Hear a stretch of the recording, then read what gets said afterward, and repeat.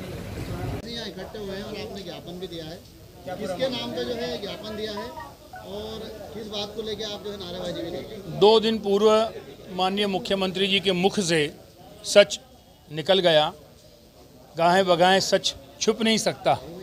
कितनी भी हम झूठ की इबारत खड़ी कर लें परंतु सच के आगे अच्छे अच्छे बोल पड़ते हैं। ऐसे ही माननीय शिवराज सिंह ने सच को स्वीकार किया कि केंद्रीय नेतृत्व के कहने पर उनके इशारे पर ये सरकार को हटाने का कुचक्र रच रचकर षड्यंत्र रचकर हमने हटाया है। यह संभव नहीं था कि सिंधिया जी और तुलसी भाई के बिना हो पाता। एक चुनी हुई सरकार को लोकतांत्रिक तरीके की जो चुनी हुई सरकार होती है उसको इस तरह का षड्यंत्र करके हटाना किसी भी सरकार के द्वारा चाहे वो सेंट्रल गवर्नमेंट की मदद से हो या किसी के द्वारा भी हो, ये आपराधिक श्रेणी में आता है। कांग्रेस पार्टी इसकी घोर निंदा करती है क्योंकि कांग्रेस पार्टी लोकतंत्र मूल्यों की रक्षा करती आई है। भारतीय जनता पार्टी बेचैन रहती है, बिना सत्ता के वो रह नहीं सकती।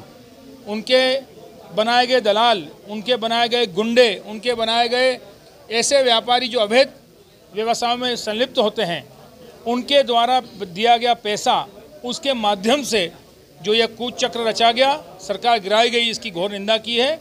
मध्य प्रदेश कांग्रेस कमेटी ने आज आह्वान किया है, डिस्ट्रिक्ट हेडक्वार्टर और ब्लॉक स्तर पर ज्ञापन देने का आह्वान किया था कि अपने अपने ज़िलों में ज्ञापन दें। उसी तारतम्य में आज देवास शहर जिला और जिला कांग्रेस कमेटी ने जिला कलेक्टर यहाँ पे ज्ञापन सौंपा है।